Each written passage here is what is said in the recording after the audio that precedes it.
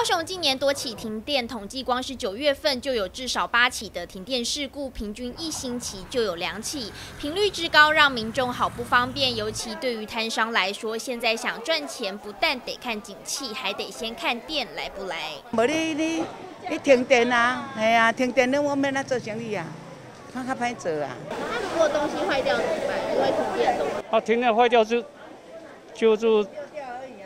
处理掉而已啊，这一这回，诶诶诶诶处理啊，要不然怎么办？啊，无人啊，无人要赔偿你啊啦，对不对？你要给上赔偿，政府也无要赔偿你啊。虽然台电回应高雄停电事故数量有逐年改善，但三不五时就停电已经严重影响城市形象。国民党高雄市长参选人柯志恩更是直接开枪。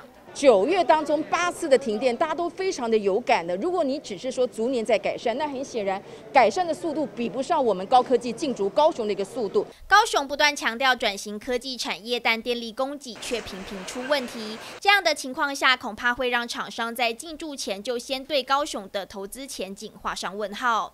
那这停电的频率之高，我觉得也会吓走很多半导体公司来这边设厂。那我本身就是半导体的背景，我知道。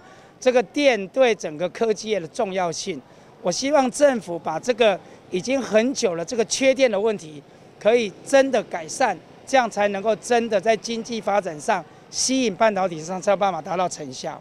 高雄近期停电事故频传，引发庞大民怨，究竟该如何稳定供电，让市民不必再忍受停电之苦，是台电现在急迫需要面对的课题。记者邱玉婷、苏玉文高雄报道。